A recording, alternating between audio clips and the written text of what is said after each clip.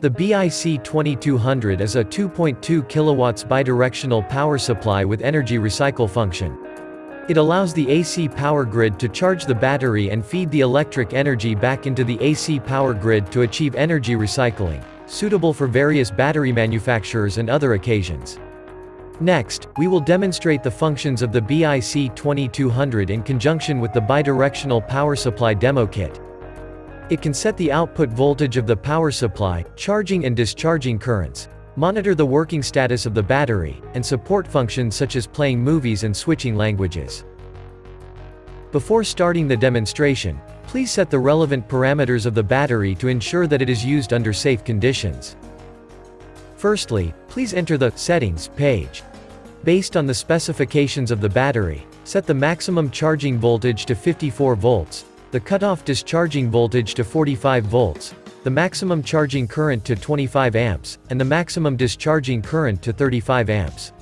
Click Save to write the battery parameters into the PLC controller. Switch to the Status page. The current battery voltage is 53.4 volts. For battery charging testing, the output voltage needs to be greater than battery voltage, such as the current setting of 54 volts.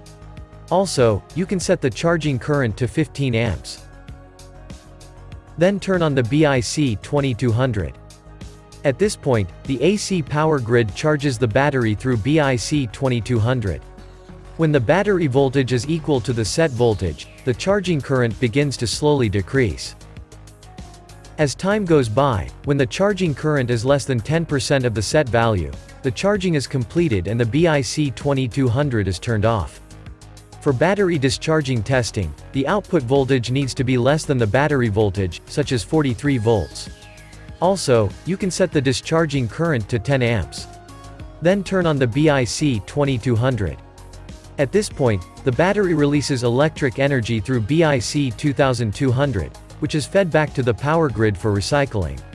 As time goes by, when the battery voltage is lower than the cutoff discharging voltage of the battery, BIC 2200 stops working to prevent excessive battery discharge. For inquiries about products and application requirements, please contact Meanwell distributors or Meanwell technicians.